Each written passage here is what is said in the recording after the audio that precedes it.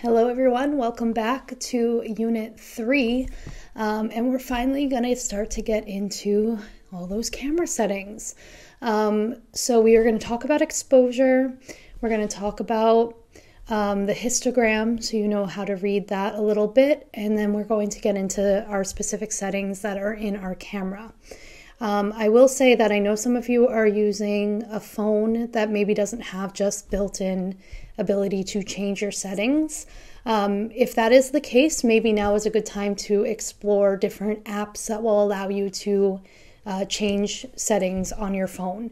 Um, if you're using an iPhone, maybe you can look at Halide or Camera Pro. Um, I'm not sure about on Android. I do believe that a lot of Android cameras have it built into just the basic camera. So just do a little research, see what you can find if that is you. Um, if you are using film, we are going to talk about ISO, and ISO um, is different on film and on the digital cameras. So keep that in mind. Uh, we do touch upon it just very briefly. Um, but that's it. So if you're just coming here ready to get started, you'll be good to go. Um, so let's start with exposure. Uh, exposure is the most important part here because the camera is all about light and the light that is coming in. So we're going to try to make this very manageable and make this very easy for you to kind of get some basic understanding of it. Please keep in mind um, that this class is a beginner's class. This class is exists specifically just to give you enough tools to start making the right choices and getting the pictures that you want. This is a huge topic that can get incredibly technical. Lots of math, lots of science, lots of physics. Um, you don't need to know all that stuff in order to take the pictures that you want to take. If you are one of those people that is interested in that side of it, that's great. Um, we're not going to get too deep into this, so please keep that in mind. Uh, if you are going through the class and you have a more advanced knowledge of this information, um, by all means, you know, feel free to share it in the Discord and everything, but keep in mind that not everybody um, has the desire or need or capacity to kind of get a full full broad strokes of this. Um, so we are going to just kind of keep this quite practical. Everything about this class is supposed to be practical so that you can just get making pictures which is what i think most people want to do so, what is exposure? Um, exposure is the amount of light that reaches your camera's sensor, and then how the sensor or the film processes it to make an image. Keep in mind that there is already ambient light around you at all times, and that does come into play. So, not just changing our settings, but we're changing our settings due to the light that is around us and any light that we are going to be introducing into the image, whether we're using flash or something different. Now, there is no single right exposure for a scene. Um, a lot of the creativity in photos comes from the choices you make in regards to exposure. You will hear terms like overexposed and underexposed. Now, sometimes you want a picture to be overexposed, sometimes you want it to be underexposed. Um, if you are taking pretty standard pictures or even like you know pictures of birds and things like that you probably want to get a solid flat exposure. So good highlights good shadows um, where you can see the subject nice and clearly. But just keep in mind that you have creative um, input on this and and making these choices now is really going to uh, help you to kind of start to get an idea of how you can do some of these more advanced creative types of shots because of your exposure now, your camera measures your light um, with built in light meters.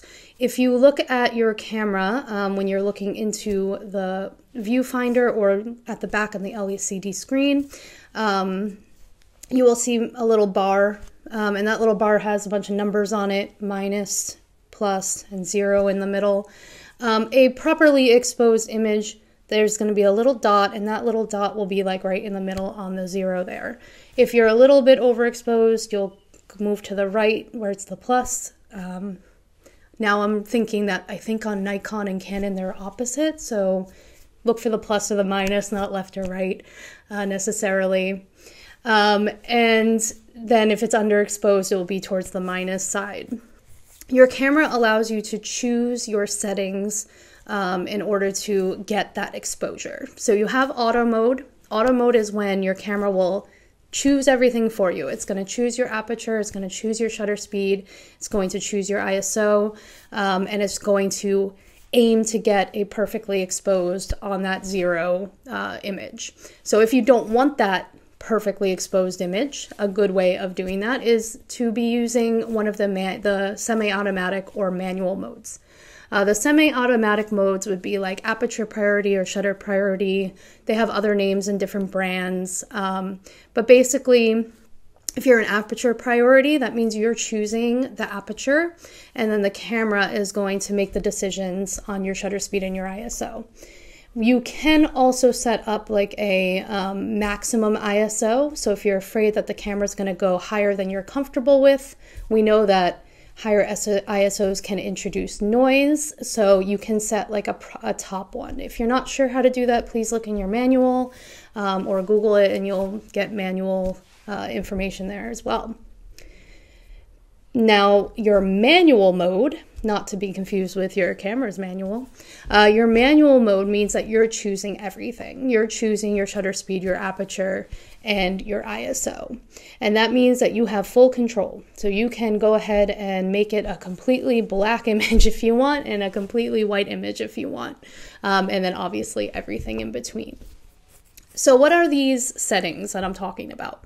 A lot of you are already aware of them, um, but briefly, aperture. Aperture is what uh, is that hole in your lens we talked about in the lens uh, lesson and it can get bigger and smaller depending on what you're trying to do. To let more light in, you would make a bigger aperture, which, um, if you remember, uh, is a smaller number because it's a fraction, right? So a bigger number lets more light in, a bigger aperture. Your shutter speed is how fast the uh, how much time is allowed into the camera into your sensor. It's like a little blind that goes really fast or really slow. Um, so obviously a slower shutter speed it takes longer for that shutter to go by the sensor or the film, which means more light is coming in. Um, this also will affect things like motion blur and actually freezing motion. So we'll talk about that more. And then your ISO. Um, ISO is, is quite complicated. Um, there's a very good lesson in this unit that explains it um, in all the technical terms in a way that I think you guys will all understand. So I'm not going to try to um, explain that quite right now, just because I do think that the the ISO lesson was written very deliberately and very correctly, and I don't want to say something slightly different that might cause some confusion there because ISO, there's a lot of misconceptions about what ISO actually is and how it actually functions. Um, so please just look forward to the lesson there um, and read through that. Um, practically, the idea with ISO is if you um, need a smaller aperture and you need a faster shutter speed and all, it's too dark or it's late at night and it's too dark and you've tried opening your aperture and you've tried slowing down your shutter speed as much as you can and it's still too dark, you can bring up that ISO, um, which will amplify the light that is present um, and give you some more exposure to work with. Again, please just go through that ISO lesson for the better verbiage um, than I am able to say right now. So that is what we're going to do first. So we're talking about the exposure. So please read through the lesson below. Um, you're also going to see some online practices, um, well, some practical practices that I want you to just try right now. And then um, there's also an online tool that I'm a big fan of called Canon Outside of Auto, uh, which allows you to play with um, a shutter speed with a scene with lots of motion. So you can play with the shutter speed, the aperture, and the ISO. This is a great way to just kind of see it in real time. Um, obviously, going out and doing it with your own camera is preferable, but this is a great another way to just kind of see it happening in front of your eyes. So go ahead, read through the exposure lesson, and I will see you guys in histogram, which is next.